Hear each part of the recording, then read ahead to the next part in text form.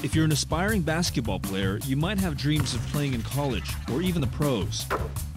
The challenge, of course, is it's so competitive most people quit trying and give up their dream. But we say dream big and don't quit.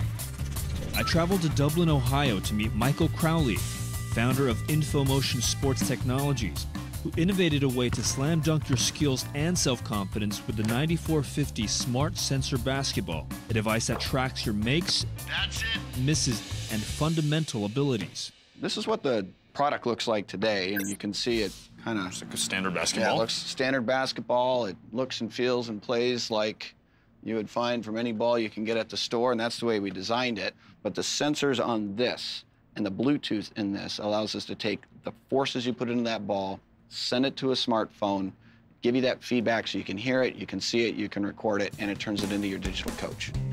There was a lot of trial and error before Michael and his team came up with an unbreakable sensor inside a lightweight, balanced basketball. These chips have 12 different little motion sensors on it. And the sensors are measuring the force that you put into the ball. So, for example, when you dribble it, it's smart enough to know the difference between a bounce and whether or not you're actually dribbling it.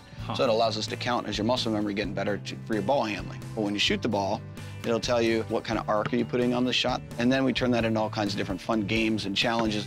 It's an experience. To give athletes feedback on how many shots they're making or missing, InfoMotion used physics to create a magnetic field inside the hoop to work in conjunction with a sensor ball.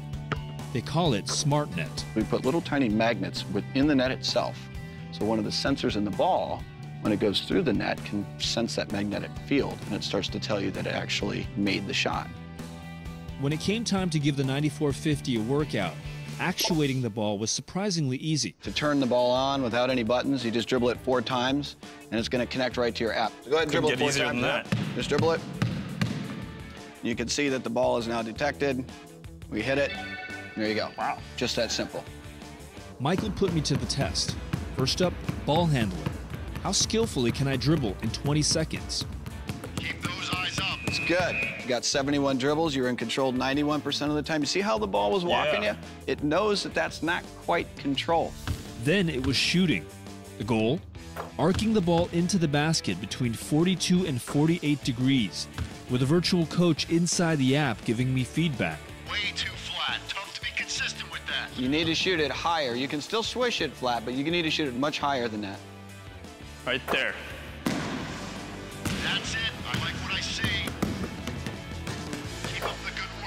The essence of what we do is we bring the objective third party whenever you want it. The- The ball will talk to you in a way that says, now we know for a fact that today you did a little bit better than yesterday, or you just did a little bit better than five minutes ago, and we celebrate it.